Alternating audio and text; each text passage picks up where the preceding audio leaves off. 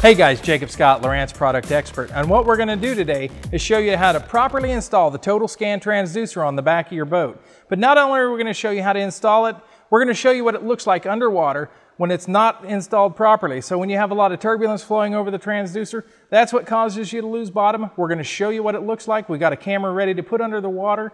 That way you can see it, and then we're going to move it back to the proper position.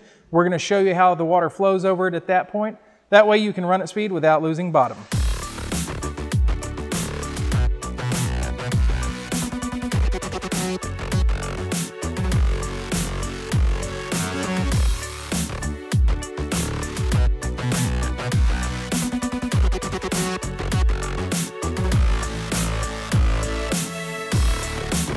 And uh, as you can see when we were running how we were losing bottom when we were getting up to speed, that's because there was a lot of turbulence coming over this transducer.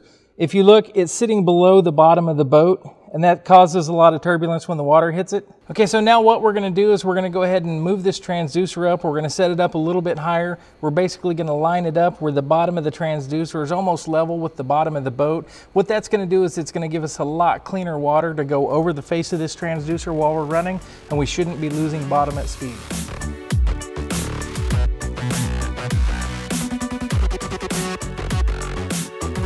And now as you can see, we've moved this transducer up. We've got it pretty much level with the bottom of the boat. And what this is gonna allow is it's gonna allow a lot cleaner water to flow over that transducer. We're gonna have less interference and turbulence. Therefore, we're gonna be able to track bottom at speed.